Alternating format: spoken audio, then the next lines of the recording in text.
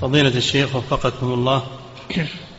يقول هل سدل اليدين بدعة؟ ها؟ هل سدل اليدين بدعة؟ لا. يراه بعض العلماء. الإرسال اليدين أو سدل اليدين يراه بعض العلماء. ليس بدعة. نعم.